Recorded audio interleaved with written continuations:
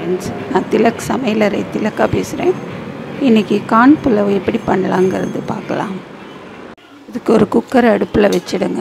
அதில் ஒரு ரெண்டு குழிக்கரண்டி அளவுக்கு எண்ணெய் ஊற்றிட்டு தாளிக்கிற சாமான்லாம் போடணும்.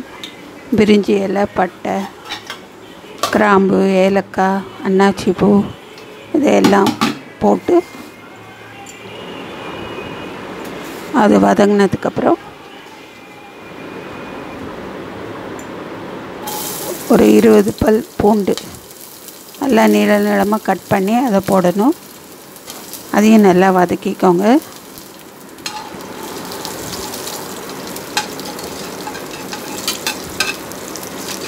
இது ரொம்ப ஸ்பைஸியாக இருக்காது. நல்லாயிருக்கும் டேஸ்ட்டு நல்லாயிருக்கும் பூண்டு வதங்கினதுக்கப்புறம் ஒரு நாலு பச்சை மிளகாவை கீரி போட்டுக்கோங்க. இது ரெண்டு டம்ளர் நான் எடுத்திருக்கேன். இதுக்கு ஒரு நாலு பச்சை மிளகா. உங்கள் காரத்துக்கு தகுந்த மாதிரி போட்டுக்கோங்க. ஒரு பெரிய வெங்காயம் மூணு நல்லா நைஸாக கட் பண்ணி அதையும் போட்டு நல்லா வதக்குங்க வெங்காயம் நல்லா செவக்கணும்.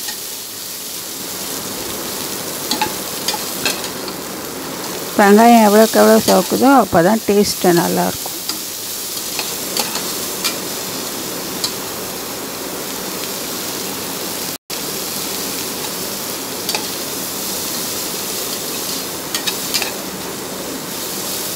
ஸோ பச்சை மிளகா நான் ஒரு அழகுக்கு ரெண்டு போல் நாலு போட்டிருக்கேன். உங்களுக்கு காரம் கூட வேணும்னா அஞ்சு போட்டுக்கலாம்.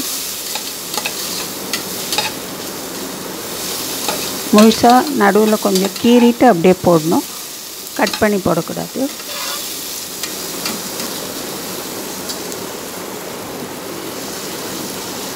வெங்காயம் நல்லா வதங்கினோடனே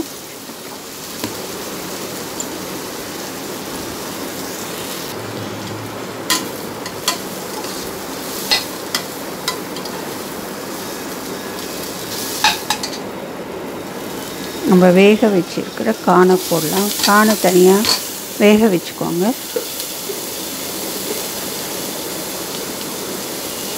அதையும் போட்டு நல்லா அந்த ஆயிலில் நல்லா வதக்கணும்.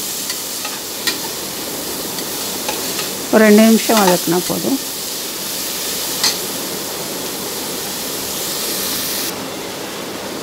அதுக்கப்புறம் ரைஸை கழுவி ஒரு டென் மினிட்ஸ் ஊற வச்சு வச்சுருக்கேன். அதை போட்டுக்கலாம்.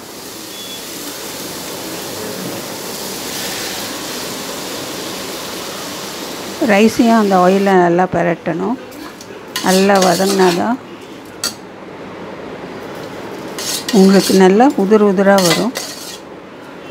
இந்த ஆயில் கூட கொஞ்சம் நெய்யும் சேர்த்துக்கலாம்.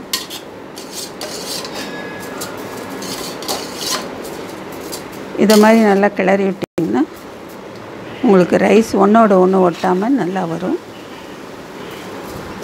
இதுக்கு நான் தேங்காய் பால் ஊற்ற போகிறேன் ஸோ நாலு ரெண்டு அழகுக்கு நாலு டம்ளர் தண்ணி. அந்த தண்ணியை லைட்டாக ஹீட் பண்ணிவிட்டு ஒரு முக்கால் மூடி தேங்காவை திருவி அதில் விட்டு மிக்சியில் விப்பில் போட்டு பால் எடுத்து வடிகட்டி வச்சுருக்கேன். அதை இப்போ விட போகிறேன்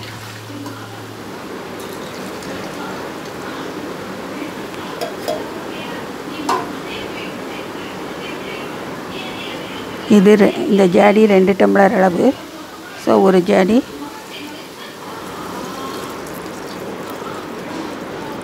தேங்காய் விடுறதுனால டேஸ்ட் இன்னும் கொஞ்சம் நல்லாயிருக்கும் இதுக்கு தக்காளி எல்லாம் கிடையாது.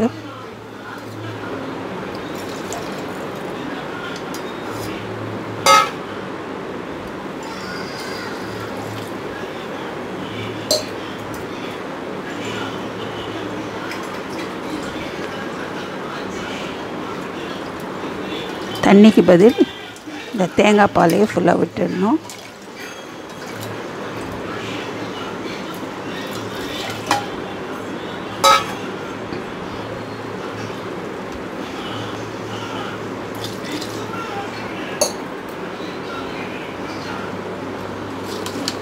நல்லா கலந்து விடுங்க.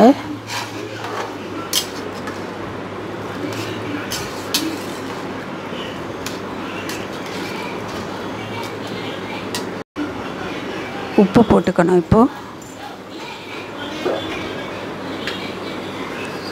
உப்பு போட்டுட்டு செக் பண்ணிக்கோங்க. கொஞ்சம் கூட இருக்கணும் உப்பு. அப்போ தான் வெந்து வரும்போது சரியாக இருக்கும். ஸோ உப்பு போட்டு நல்லா கலந்து விட்டு குக்கரை மூடிடுங்க. குக்கரை மூடிட்டு விசில் போட்டு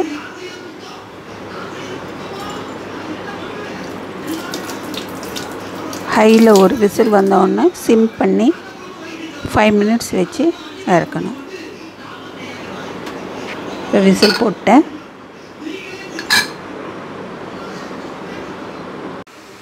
இப்போ ஃபைவ் மினிட்ஸ் ஆகிடுச்சு இப்போ ஓப்பன் பண்ணி பார்க்கலாம். ஸ்டீம் போயிடுச்சு.